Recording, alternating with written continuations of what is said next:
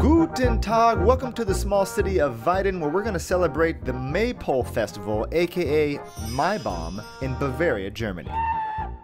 Now, May 1st is an actual German holiday, so a lot of things will be closed. However, depending on the city that's celebrating, the Maibaum Festival can take place at the very end of April, on May 1st, or right after. So why are we celebrating May Day? What exactly are those guys wearing? And what's up with this maypole? Hmm. All very valid questions. Let's take a closer look.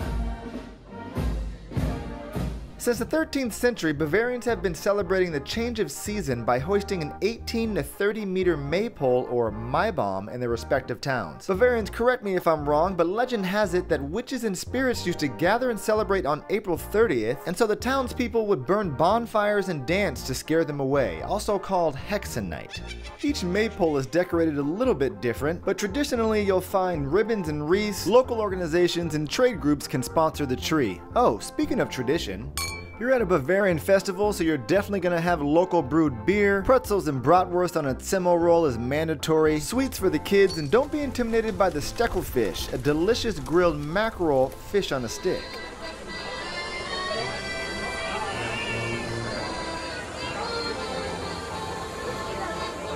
After getting your food and beer, make your way to the main event, the rising of the maypole. Now depending on what city you're in, the maypole can be risen by man, machine, or a combination of both. This is actually the first time I've seen the maypole being operated by what seems to be a wireless controller. Either way, getting the maypole up is going to take some heavy lifting. Check the link in the description to get an idea of how the pole is raised with smaller trees and a lot of Bavarian muscle power. So where do you even get the Maibaum? Well, have you seen Bavaria? There's trees everywhere. A lot of times the city buys the tree and lumber from a local forest owner, or the owner sponsors the maypole itself. In some traditions, men will set up a small Maibaum in the yards of their lovers. Once the maypole is up, that's when the festivities begin. In we saw women dancing in their dirndls, while the men pull out their finest leather and their lederhosen. Funnier traditions include pranking, where one city steals another city's maypole and they hold it for hostage, and the Bavarian thieves don't want ransom money. Well, I hope you learned something today. If you're looking for more local content, subscribe to the channel, and I'll catch you in the next one.